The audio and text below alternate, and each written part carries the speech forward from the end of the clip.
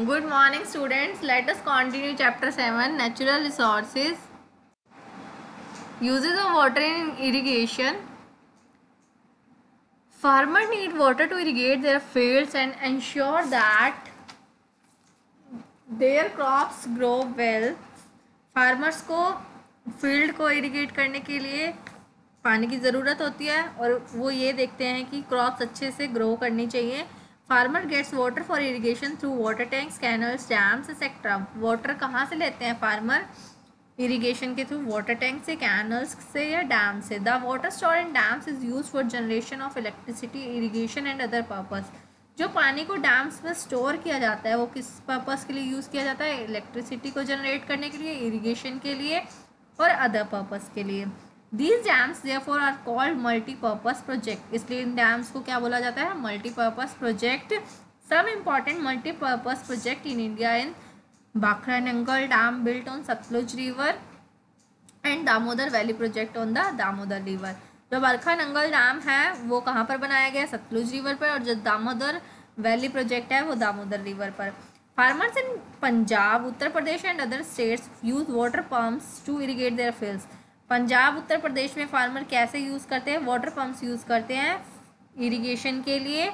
Indira Gandhi canal is a very important source of irrigation for the farmer in Rajasthan Rajasthan में जो Indira Gandhi canal है, वो बहुत important source है irrigation के लिए। In India farmers dig ditches so that water can flow in the fields देखो ये डिचेस बनी हुई हैं।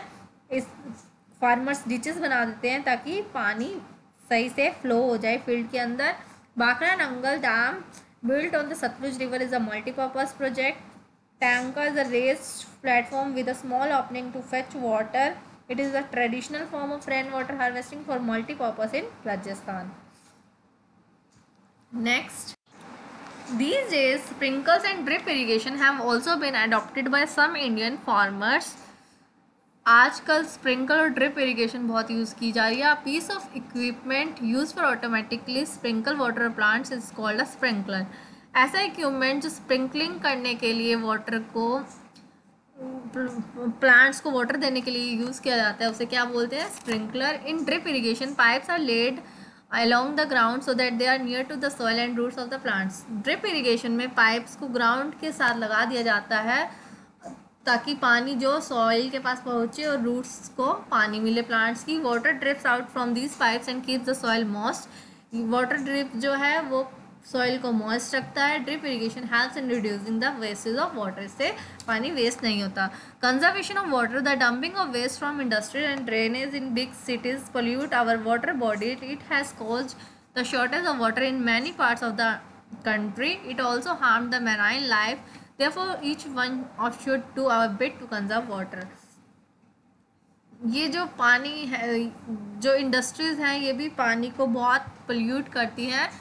कचरा पानी में फेंक देती है नदियों में, जिससे पानी क्या होता है? पल्यूट होता है, दूषित हो जाता है। इससे पानी की कमी हो जाती है और हमारी लाइफ के लिए भी हार्मफुल होते तो हम लोगों को क्या नहीं करना चाहिए? Do not leave the taps open when you are not using water अगर आप टैप यूज़ नहीं कर रहे तो उसे बंद कर देना चाहिए। Use a bucket instead of shower to take a bath बाल्टी का यूज़ करो बजाय कि शावर लेने की बजाय नहाने के time store rain water for future use rain water को स्टोर करो फ्यूचर यूज़ के लिए. Throw tissue paper into the waste basket rather than flushing in tissue paper को वेस्ट बास्केट में डस्टबिन में थ्रो करो बजाय कि उसे फ्लश करने के। Fix the leaks in pipes in kitchen bathroom और any other place at home जो लीक्स हैं पाइप किचन में है बाथरूम में या किसी और भी प्लेस पे है होम में तो उसे फिक्स करो। Factories can treat the polluted water before releasing it into a water body thank you